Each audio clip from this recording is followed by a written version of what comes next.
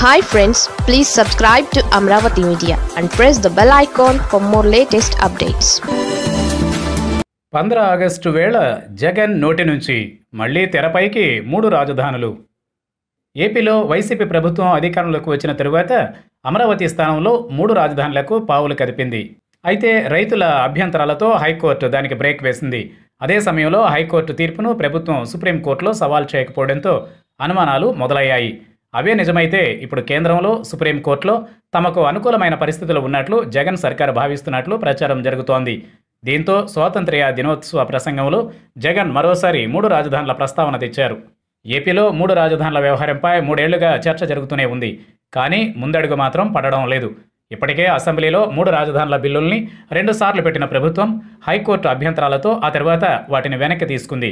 చివరికి హైకోర్టు కూడా అమరావతినే రాజధానిగా ఉంచాలని తీర్పు కూడా ఇచ్చేసింది.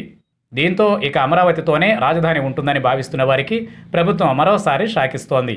ఇప్పటికే వైసీపీ నేతలు మంత్రులు మూడు రాజధానుల చర్చను మరోసారి తెరపైకి తెస్తూ ఉండగా సీఎం జగన్ కూడా ఇవే సంకేతాలు ఇచ్చేశారు.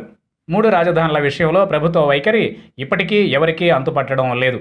ఓవైపు మూడు రాజధానులు ఖాయమంటూనే మరోవైపు అడుగులు ముందుకు పడకపోవడంతో జనంలో అనుమానాలు పెరుగుతున్నాయి.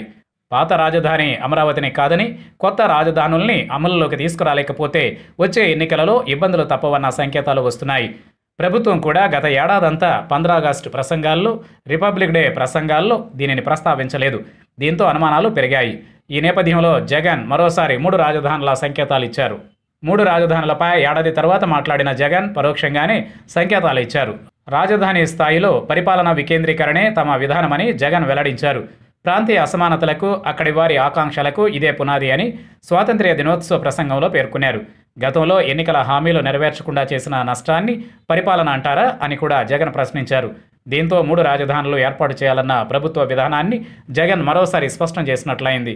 గతంలో మూడు రాజధానుల ఏర్పాటు సమయంలో కేంద్ర ప్రభుత్వంతో సత్సంబంధాలు కలిగిన ఉపరాష్ట్రపతి వెంకయ్య నాయుడు ఢిల్లీలో ఉన్నారు. అలాగే జగన్ గతంలో ఫిర్యాదులు చేసిన సుప్రీంకోర్టు ప్రధాన న్యాయమూర్తి ఎన్వి రమణ కూడా అక్కడే ఉన్నారు.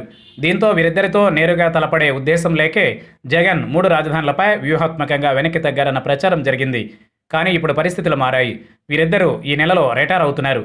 ఇప్పటికే వెంకయ్య రిటైర్ కాగా ఎన్వి రమణ కూడా వచ్చే వారం రిటైర్ కానున్నారు.